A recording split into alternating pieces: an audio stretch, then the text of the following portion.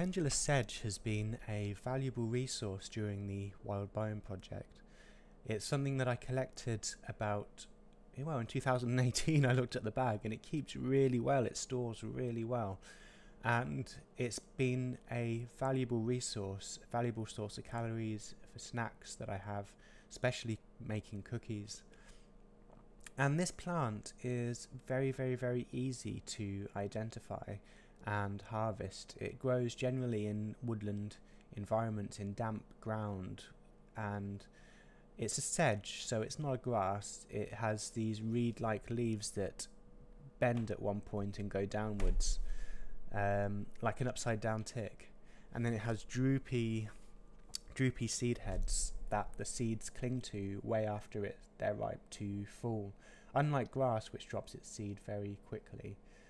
Um, and I forget the rhythm. I think there was something you could say. It was rushes around. No, what was it? Um, sedges have edges, rushes around. Grasses have nodes all the way to the ground. The thing with pendulous sedge is that it is very resistant to something called ergot, which often grows on grass, and uh, and therefore it's a lot more safer to harvest. Now, processing the seed is a very easy method, all you have to do, I found a very efficient way to do this, and that is to use a food processor, um, a handheld one, a manual one, which uh, you can easily buy at somewhere like Dunelm, and you just put the seed in there, a few turns, 20 turns of the pulling the lever um, on the handle, and then you just sieve it through a gentle breeze with two bowls, just putting one into the bo- putting it into the bowl and then into the other, and um, until you've got as much of the chaff out as possible, and then you do it again in the blender, and about after two or three times, you end up with this amazing little brown seed, which can then be ground into flour, which I use a powerful blender for. You could probably use a pestle and mortar, or anything that you have at hand that's capable of grinding it down into flour. But yeah, I've been just using it in my cookies. I've been using it in everything, and uh, it's just such a valuable resource and a very abundant resource. If you have a habitat near you where it grows freely, it just spreads and it takes over. So yeah, pendulous sedge. It is one of the best resources, along with acorn flour, that I've had during the Wild Biome project.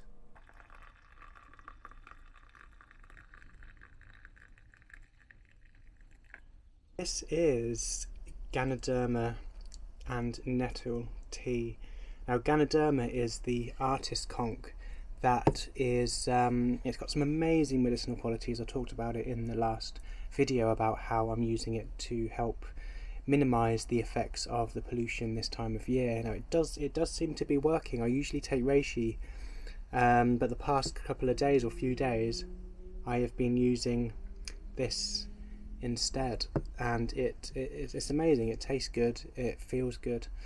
And um, I haven't been suffering as much when I do consume this beverage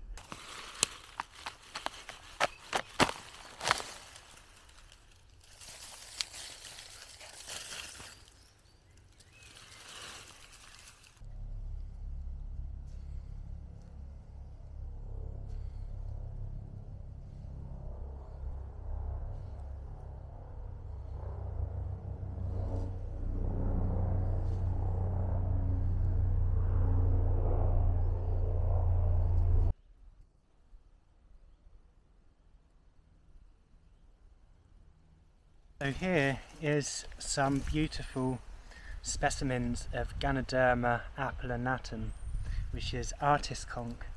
Now this is a very common bracket fungus that grows in the UK. Um, most commonly I've seen it on beech, it does grow on other hardwoods as well.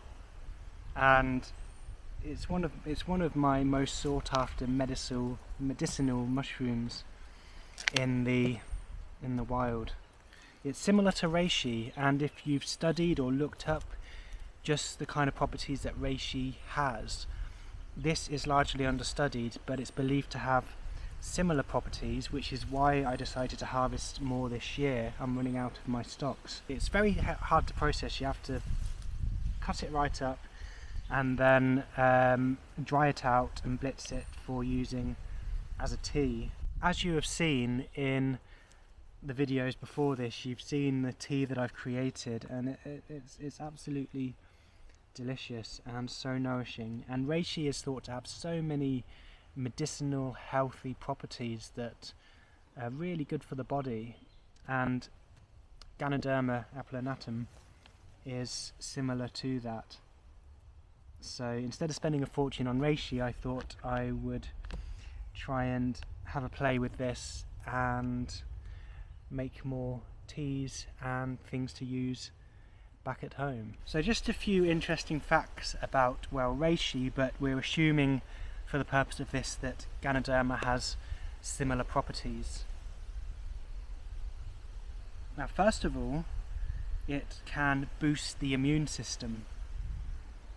And secondly, it has anti-cancer properties. So already it's such an amazing mushroom. And it could reduce fatigue and it could reduce depression and also heart health and blood sugar. It, um, it says that um, a number of studies looking at people with both unhealthy and unhealthy levels of blood sugar and lipids found that reishi mushroom may help decrease blood sugar and increase HDL good cholesterol, which is quite fascinating because we are working with Zoe, well Zoe is sponsoring us during this Wild Biome project, and they're primarily interested in blood sugar and diabetes. So those that factor alone is very special to this particular project. And it also has um, antioxidants that help protect the cells against damage. And there we have it. This is Ganoderma applanatum. It is similar to reishi, both in family and properties.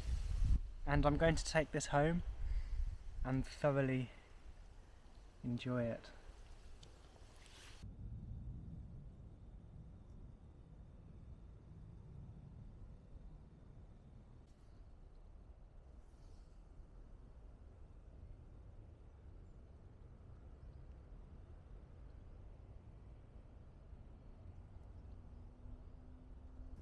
So here we are, I found one of the wood ant nests that are in this woodland and look at the swarms. I came a bit unprepared, I forgot to do what Miles did with the uh, ice box uh, in order, like the little ice packs just to kind of make them stay still once you put them into something. But seeing as I came unprepared, I might try and gather some in a bag and see if I can do anything with them hopefully I'll encourage them to kind of start going into the bag. But wow, they really are swarming.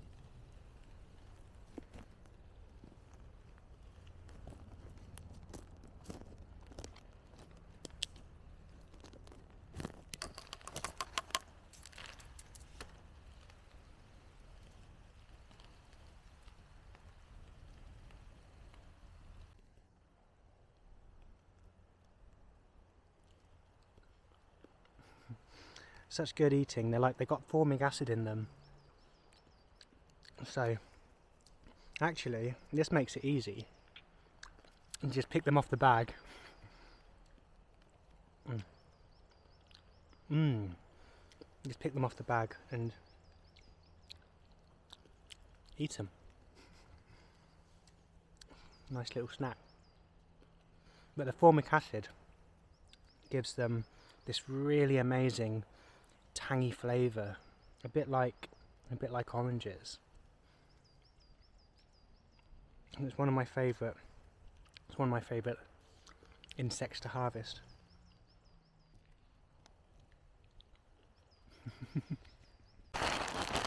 so I resorted to the method that takes the most work. Um, I've just scooped a load of debris in there. I'm going to take it home, I'm going to freeze it, and I'm going to separate them out by hand, which if I'd have come a bit more prepared, this would have been a lot easier. But there we go. And got some wood ants and my lips are a little numb from eating so many off the stick from all the formic acid. Hakuna Matata. So this is the powdered Ganoderma applanatum, the artist conk, after I've done all the processing and put it through a blender, which I didn't video because you don't want to hear that noisy thing going constantly. Um, but I ended up with about 20 of these trays, which is kind of crazy. I didn't realise how much I'd actually gathered, but that's my year's supply probably sorted. So I've kept a few behind in the caravan and I'm going to make my daily tea out of this.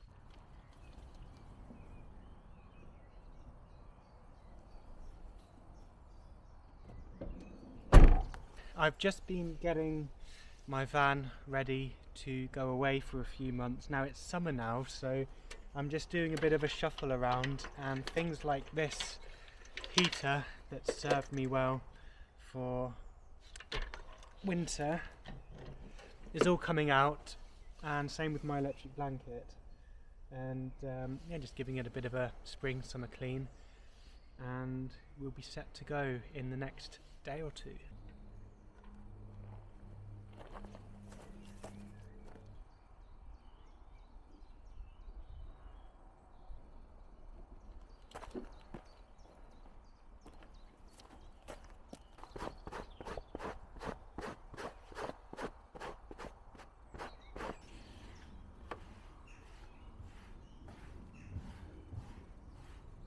Since I have the van cleared out, I thought I would give you just a little tour because this is a self-build camper, stealth camper, so it doesn't it's not obvious that I'm actually sleeping in it, which is great for travelling and pulling up in car parks and things like that. And um, but it's just very simply made, really. I uh, I created this I created this square frame, which just sit straight into the back between the wheel arches and um, there's not really much to it. It's just a box just a box frame kind of thing like using using some timber two by two. And then I made this part that comes out and sits in here and this is where this is where my feet go at the end of the bed. Uh, that that easily that easily drops out and I can put it away if I want all of this space for sitting in. Now underneath we have the Portaloo, cleaning essentials and a bit of mead in the back. I hide my mead back there. and then that box in the back there is where all the cutlery and my induction hob and everything is stored. Now coming around the back I've got my big cool box which is where my main food store is which slots into this gap down here. I've got my wheel chocks, they're in here, my fishing tackle gear, electronics and things, cables in there. And then I have my electric skateboard hiding in the back. And that's been very useful if I'm parked up somewhere and I just want to run to the shops or go somewhere local without moving the van from my parking space. This thing will go over trails and all sorts. It's got off-roading wheels on it, which you've seen in previous videos. And I've got one fishing rod here, just a small, just a small um, telescopic one. And then the one that I bought recently that you've seen in the previous video, I've just fixed up there. It does the job, keeps it out the way. And then I've got my table that just folds out and when that door's shut, it will come across and sit over here. Now that's just my random way of telling the temperature inside the van. It's just a botch job. Does the job though. um, but I've got this old Chester, this old set of drawers that I just screwed in quickly to serve as my clothes store and a few other bits where my my books and stuff are stored in the bottom. So um, yeah, that's pretty much it. It's a really simple setup. This is only bolted down in two places and strapped at the front with a with a cable strap so that I can pull it out if I really need to and use it as a normal van which I've not really had the need to do really. This little unit on my previous videos if you look at the ones to do with the ENV 200 um, I fitted this inverter which connects up to the main battery bank through the DC to DC converter in the um, in the under the hood itself, under the bonnet. And um, so this is just connected to 12 volt, but I can draw up to 1500 watts out the DC to DC converter that comes off the main battery bank that's underneath this underneath this car. And uh, that's 24 kilowatt hours of battery power that I can potentially pull out of here. And um, I've actually put some new plug sockets on here because the original ones were absolutely terrible. They just the plugs just fell straight out. So these are proper sockets with switches, so I can turn it on and use the plugs individually, etc. So it's a it's not a bad little bit of kit. It's it's done me well, and uh, and that that powers my induction hob and anything else that I need to. So there it is. This is my really really really simple camper van setup. Now the only thing I'm missing in here really is a shower and a laundrette. And those two things are easy to come by when you're travelling on the road. You can go to YHA hostels, you can go to uh, some sailing clubs allow you to use their showers, and there's a bunch of other places. So um, I do have the opportunity to get get get a shower, get a, get the laundry done wherever I'm travelling. Now I did also make a makeshift shower head that I can put on a water tub on the roof and just wash myself that way, which could work, but I don't really or haven't really had to use it.